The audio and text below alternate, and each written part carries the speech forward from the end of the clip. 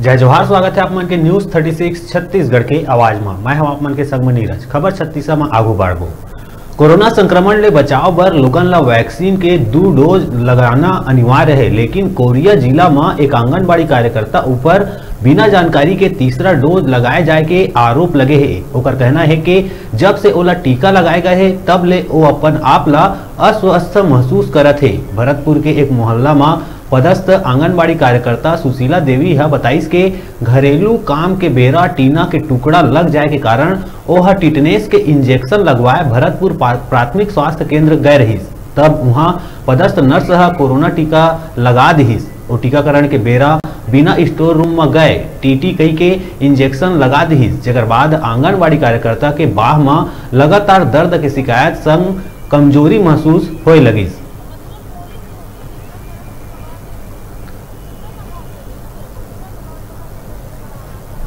हो रही थी। उसी बीच मेरे को लग गया था टीना, और मैं हमेशा छः छः महीना में टीटनेस का इंजेक्शन लगवाती हूँ।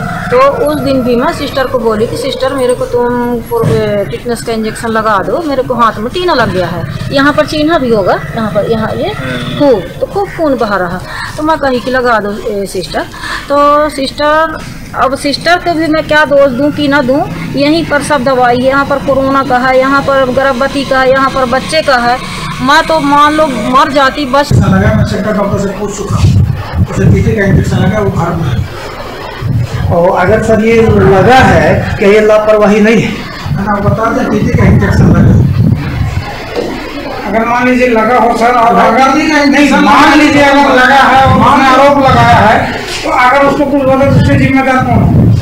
लगा ही का मान लीजिए कहीं छोटे छोटे बच्चों के शरीर लग गया होता। नहीं लगा लगा ही नहीं है तो